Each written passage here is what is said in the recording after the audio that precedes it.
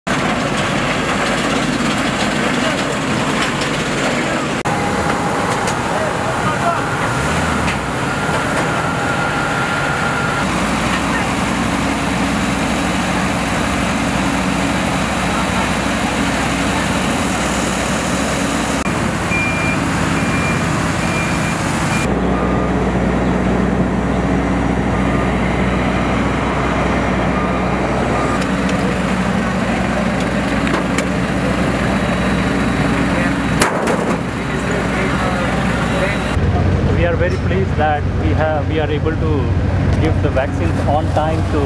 Albania because uh, as I was just telling the minister that uh, the cases in India are increasing and we have stopped exporting vaccines to other countries but uh, Albania is a special friend and I am really uh, uh, very pleased that we are able to send vaccination to Albania. Faleminderit uh, ambasador, faleminderit qeverisë tuaj edhe popullit indian.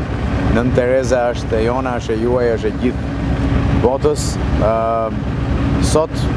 avioni i parë ul në Kukës, ndërkohë që avionët me vaksina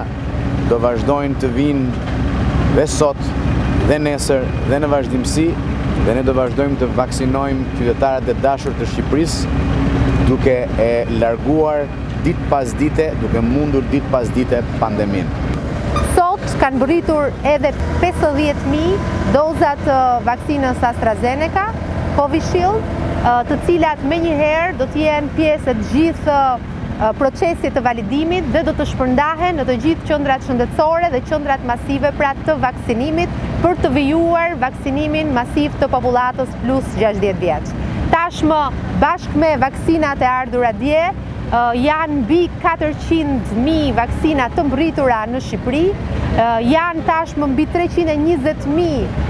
doza vaksine të administruara dhe mbi dyqind e tridhjetë mijë të moshuar që kanë marrë dozën e parë të vaksinës.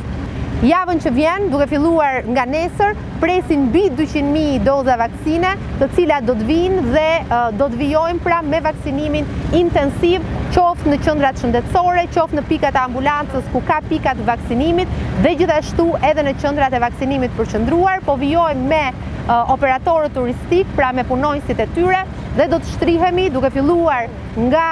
javët e ardhshme edhe në targetin e punonjësve të transportit publik, duke filluar javën që vjen me punonjësit e transportit ajror me Air Albania. Jemi në një situatë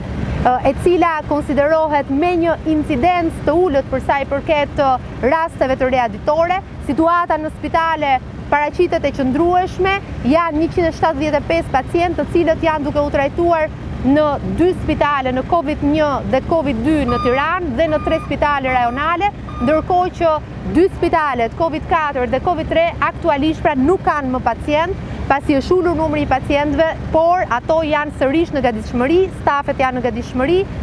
dhe mund të themi që situata paraqitet e kontrolluar. Në këtë situatë që jemi, Kërkohet shumë kujdes, kërkohet shumë vigjilencë, të mos e ulim vigjilencën, të zbatojmë rregullat, të mbajmë distancën, maskën, higjienën, sepse drita në fund të tunelit është më e qartë se asnjëherë tjetër, ndaj të gjithë së bashku edhe nëpërmjet solidaritetit të gjithë miqve tanë, ne do t'ia dalim që të rikthehemi në normalitetin e shumëkërkuar.